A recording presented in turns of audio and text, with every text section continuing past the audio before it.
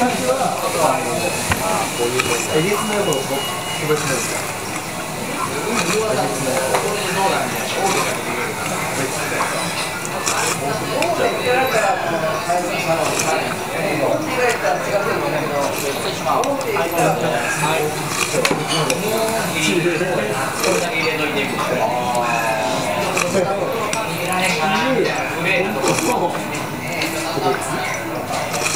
えー。っとこれ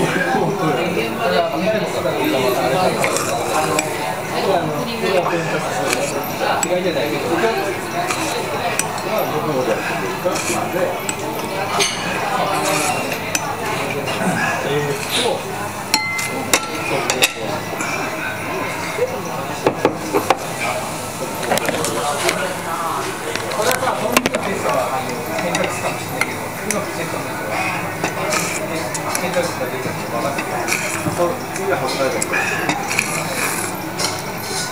部その質問にして、歌った一番歌ったやつ伝えた呼びつけてきましたから。ごめんなさいこれって、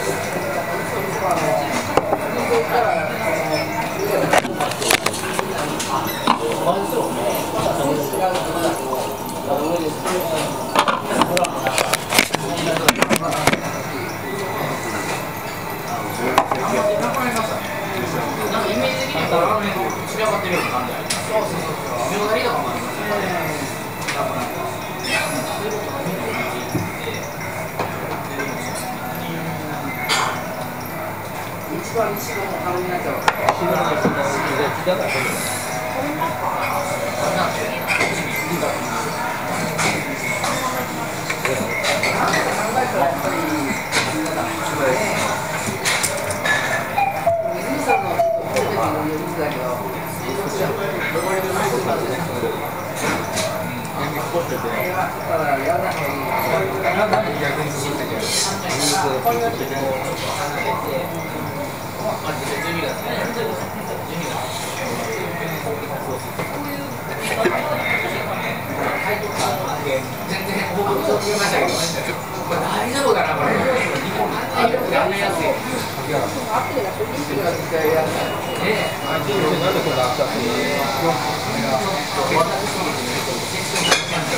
えー、ちょっと今日は日が高いから。今日は全部紹介し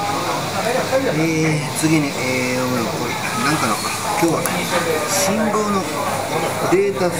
データ伝送の勉強しようと思ってで何度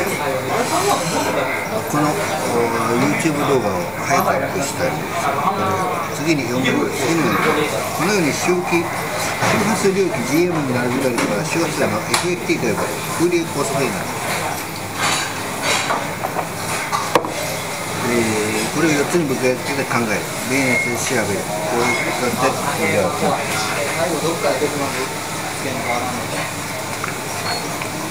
ただし一方以上をまとめてここでレベルをやった感じです。このように表記これは一つある2つの風量変化が分かるであろうこの行列要素が出る A50 のようにこれがあブランコのところでゼロであるこのようになる A50 をまずは A50 となる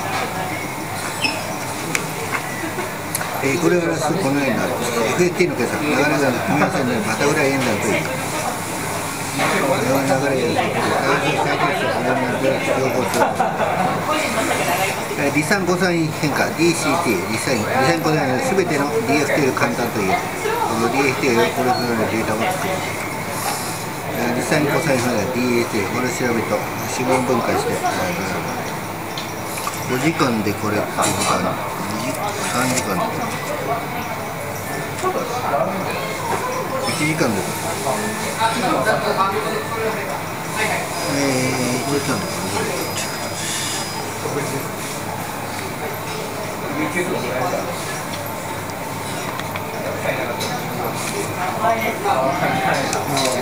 訳ないけどえー、離散個体変まず分解してこれ何が何だ